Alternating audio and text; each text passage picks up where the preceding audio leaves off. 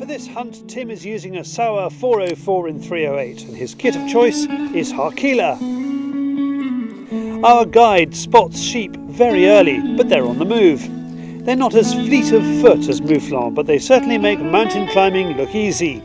We, on the other hand, are struggling.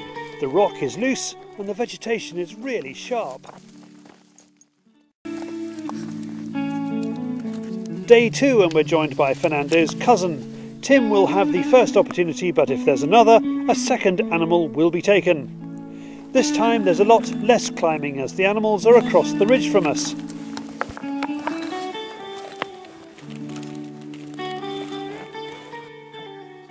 might turn a bit first. On the right. On the right.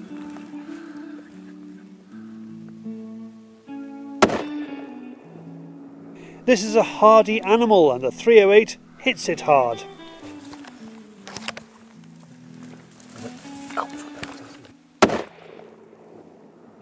Another shot presents itself and Fernando's cousin also gets a mature female.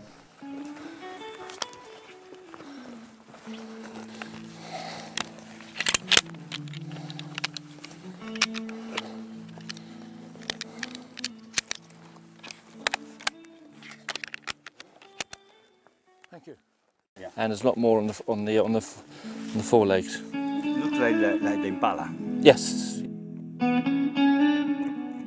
Over at the second animal, the bullet has been retrieved. Fernando's cousin's just uh, shot a uh, a seven-year-old ewe, and he and he shot it through the shoulder. So the bullet came through the shoulder, went straight through the body cavity, and it was actually lodged in the skin on the other side of the beast. He's shooting with a seven um, 708, I think, by the sounds of it.